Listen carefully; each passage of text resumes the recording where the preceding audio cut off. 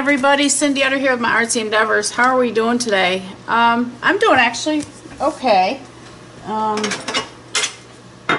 had a heck of a fibro flare here the last few days, and it's been kind of rough, but we're getting there.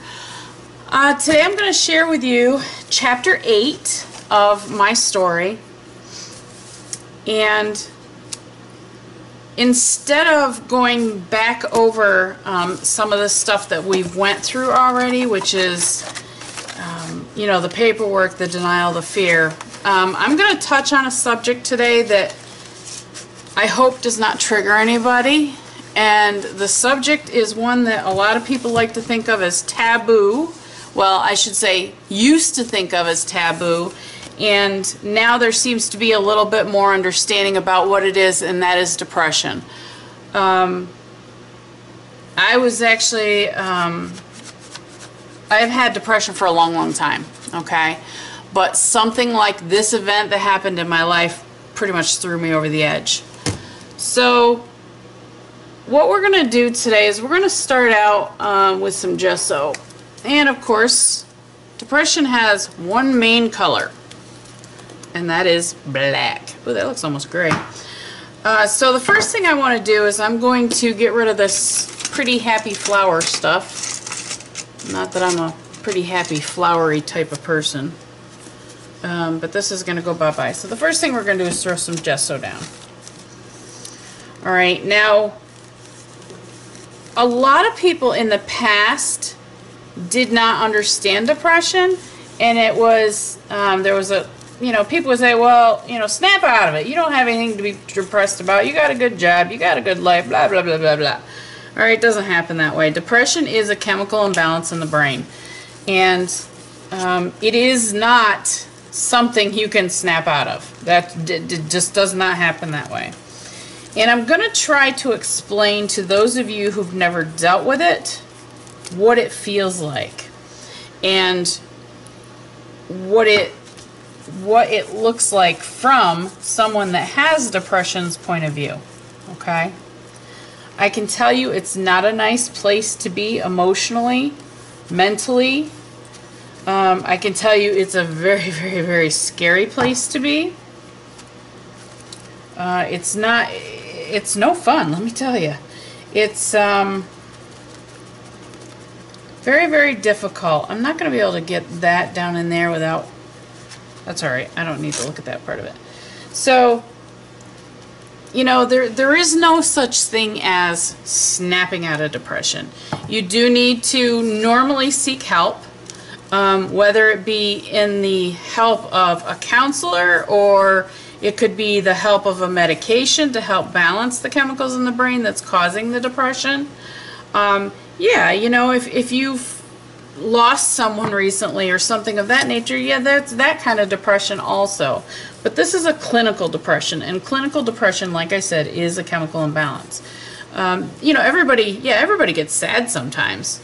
There's a big difference. It's huge. So if you have somebody um, in your home that, you know, you're having, they have depression or you have depression, um, you really need to get some help for it because Depression can lead, uh, lead to very bad thoughts, and we'll talk about that in a minute.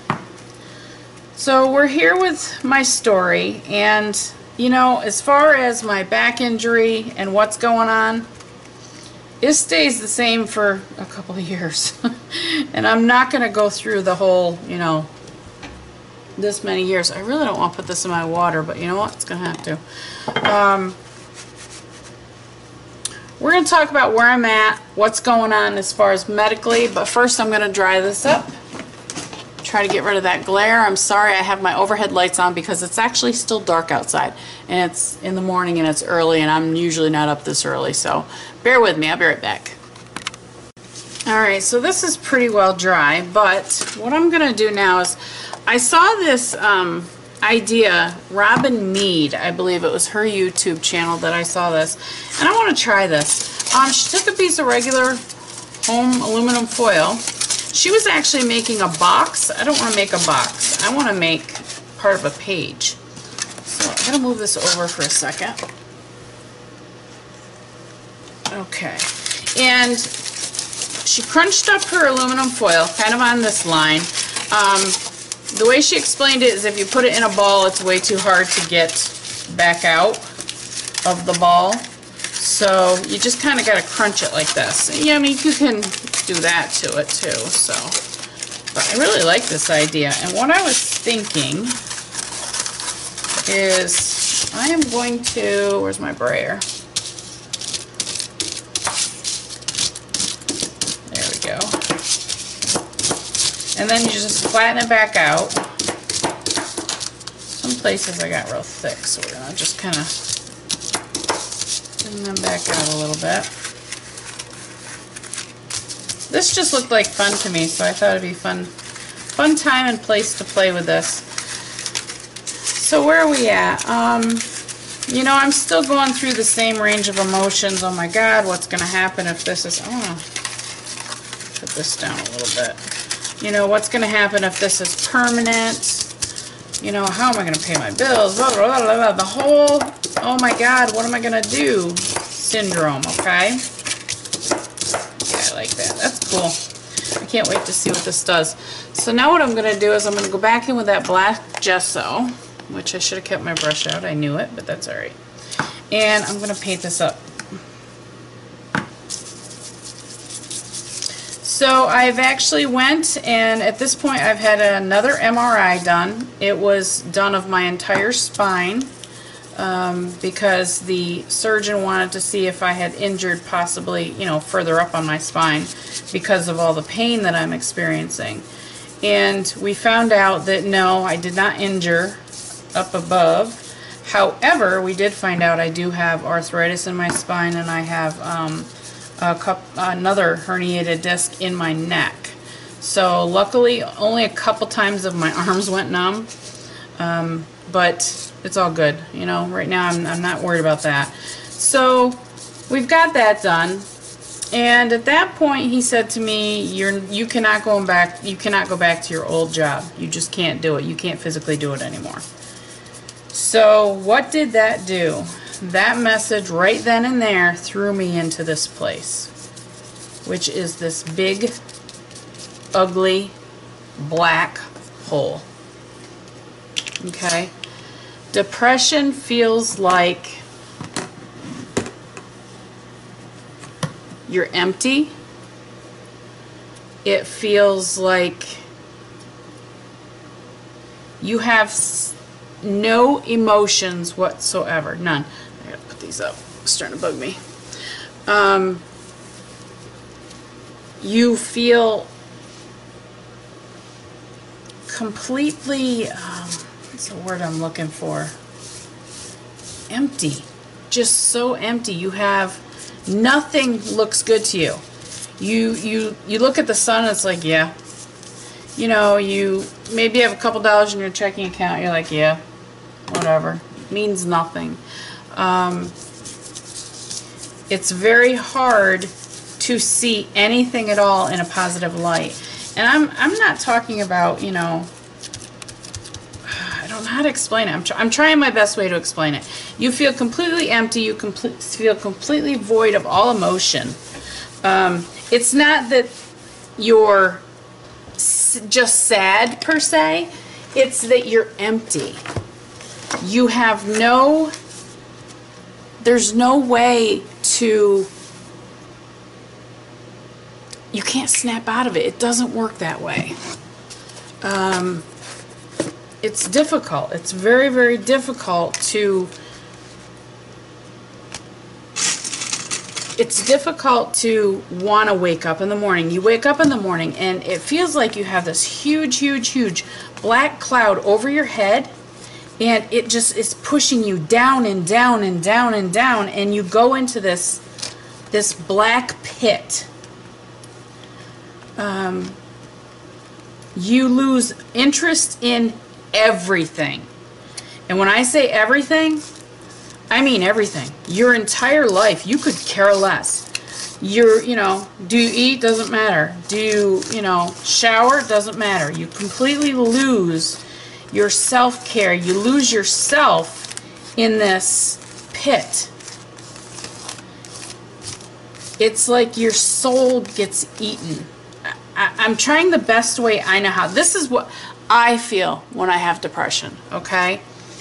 Um, like I said, self-care, mm, not interested in it.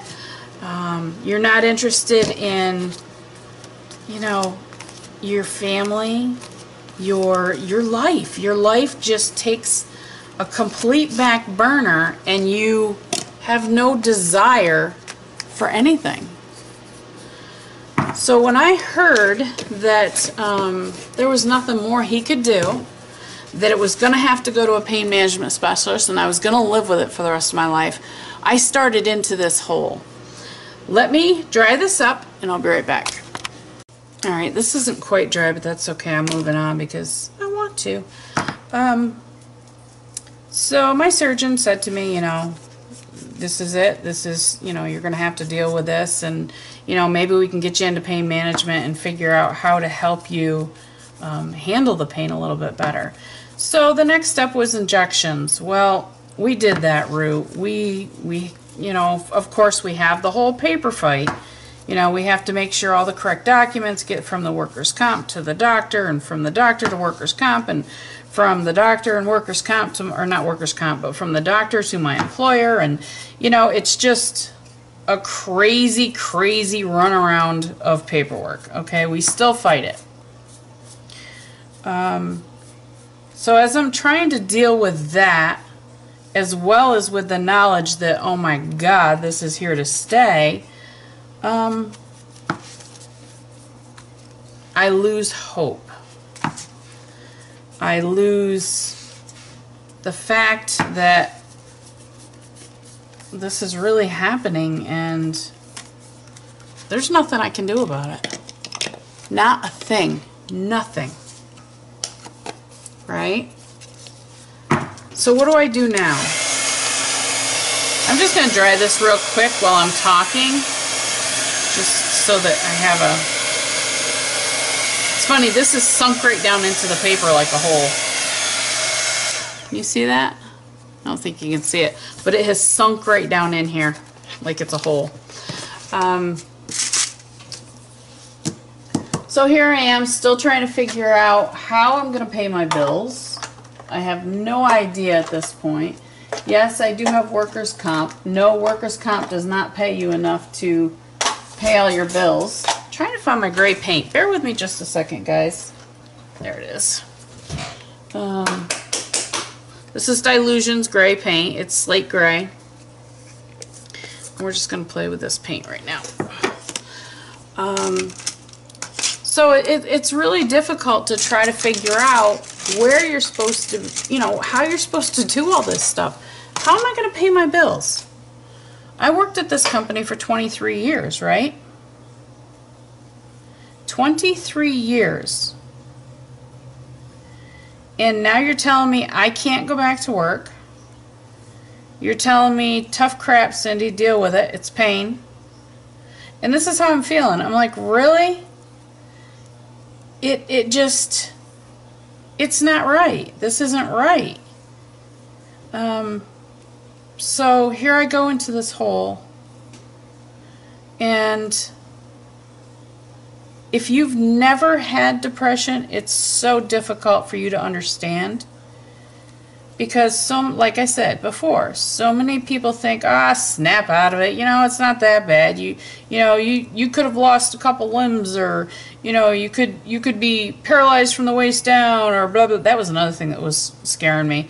I didn't know um, if having this um, issue was going to threaten my um, ability to move. So, but I found out no, it won't. It just hurts like hell when I do move. Um,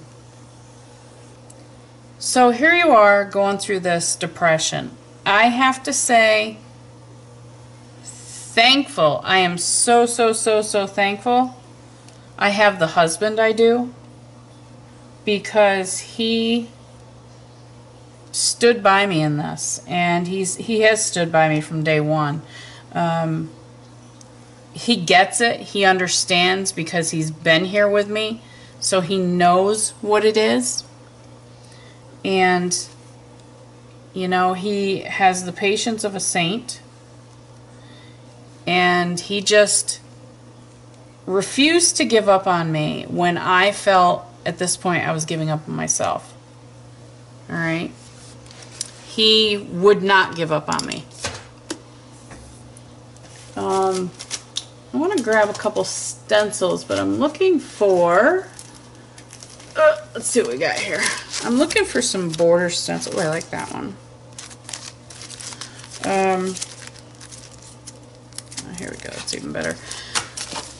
So, you know, he, he stood next to me through this whole thing. And, you know, he, when I'm, you know, lay in bed bawling because I can't see anything good coming out of where I'm at, you know, he, he was there.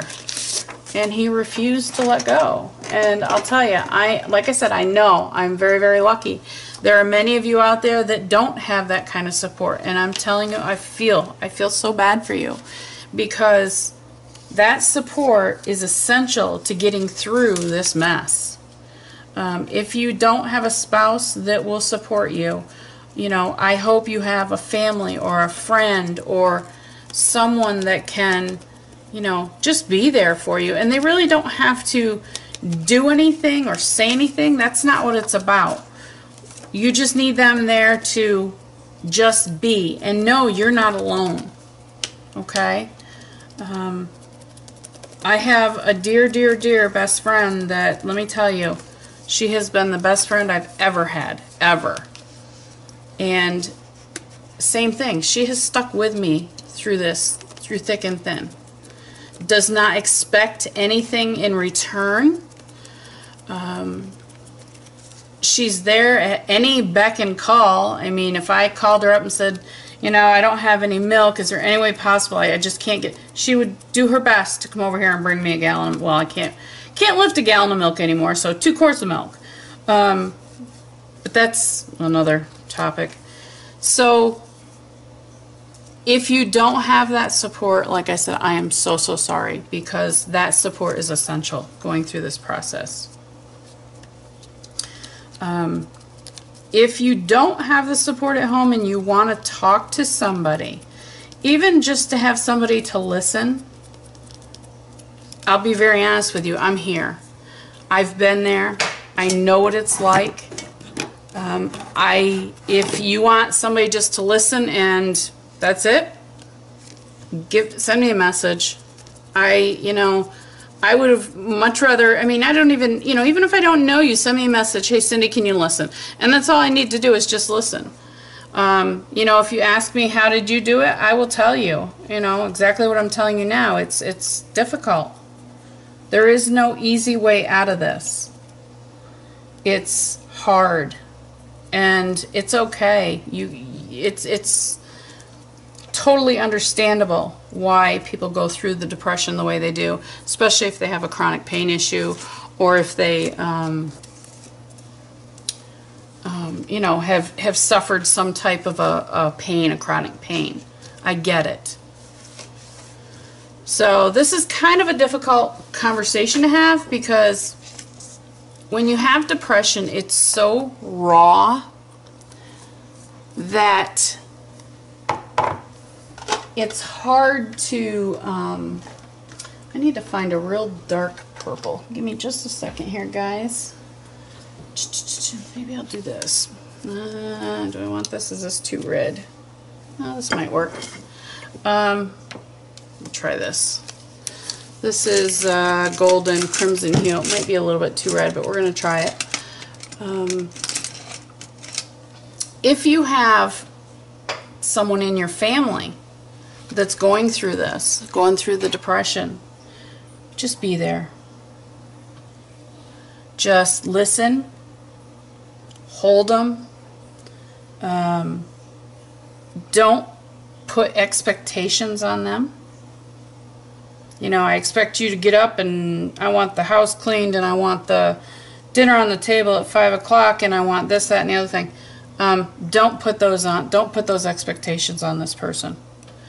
And the reason I say that is because it gets harder and harder the deeper you get into this depression.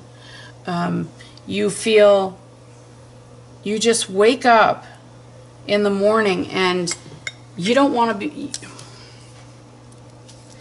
you don't want to, I'm just going to tell it right out, you don't want to be alive. Okay? You don't feel that there's anything left in your heart and soul that is is worth the effort. All right. Um, it's a very very difficult disease.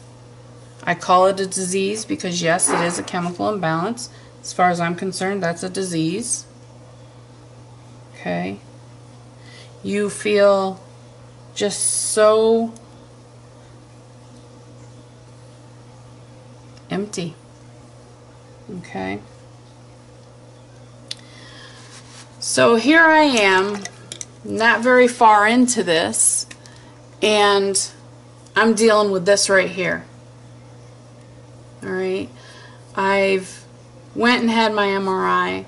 I found out I have arthritis in my spine. My spine. I have a herniated disc. So nothing more he can do. Um, we start doing injections. He says I can't go back to work. All right.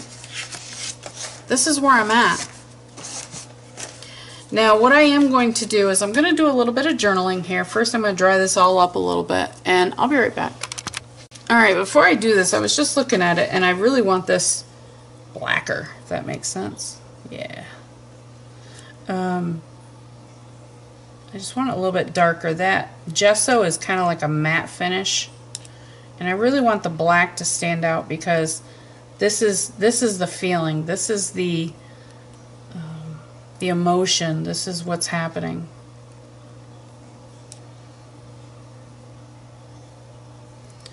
Um, you just feel so helpless and so not with it. I know this is going to take days to dry, but that's okay. I'll just set it aside. But you're in this whirlwind of just this blackness. Like I said, I really don't want to trigger anybody, and I hope I don't. Uh, but I'm, I'm showing you my story, what happened, how I got to where I am today. And it's not always like this, but this is a big part of it. This is a huge part of it. All right. Okay, let me go ahead and get my journaling done. We're going to do that, and I will be right back. All right, so what I did is I decided, um, I actually took my Sumi black ink and a fine liner, and this says depression sucks, okay? And I need to let this dry before I can do my journaling on here, so I am going to set this aside and let it dry.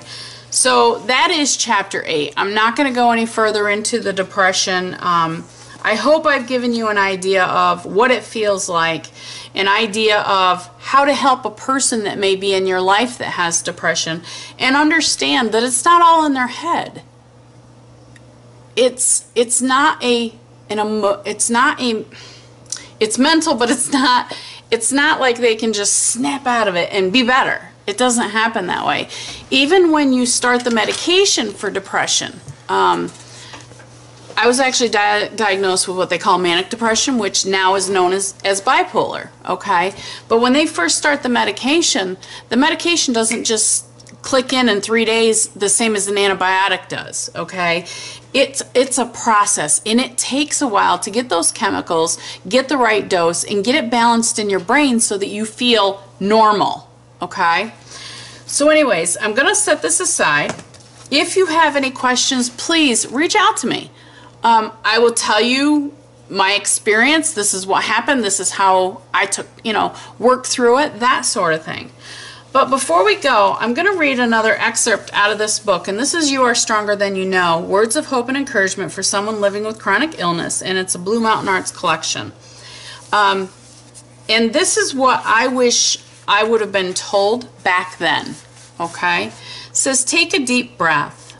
Close your eyes, count to 10, and imagine better days. Imagine your life without so many problems. Picture reaching that point of absolute peace. Erase all your thoughts, empty your mind complete, completely. Take a deep breath and know nothing is as bad as it seems. Don't let your current situation trick you into believing that it will be this way forever. As sure as the sun rises, you will have a new day. You just have to be patient and focus, not on what you see, but what you will soon see. Believe that better times will arrive. Believe that you will overcome what seemed at first to be insurmountable. Just take a deep breath.